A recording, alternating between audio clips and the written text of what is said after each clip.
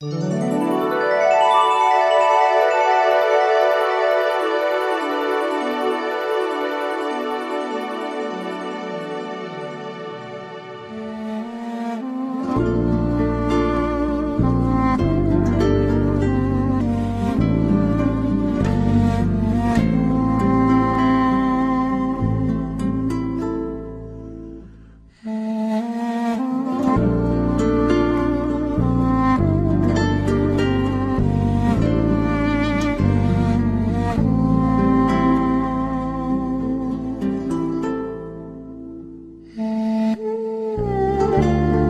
Sen de hakkın, ben de hakkın, o da hakkın, bu da hakkın.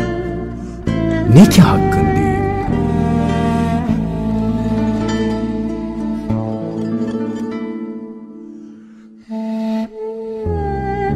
Hakta olmayan batılsa, o da hakkın.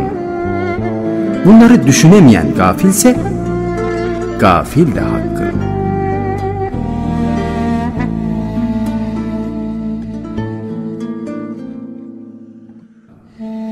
Şimdi gel ya hak diyelim. Hak bizde, biz hakta olalım.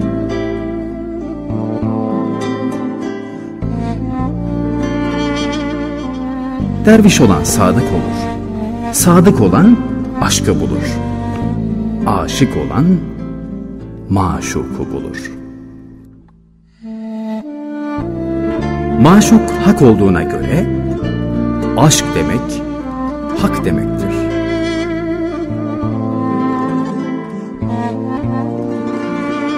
Hak demek aşk demektir.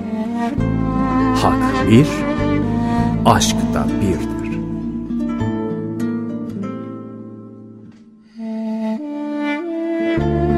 Ey davasız davalılar!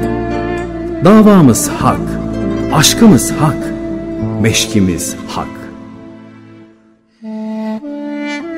Ya Hak, Ya Hak, Ya Hak.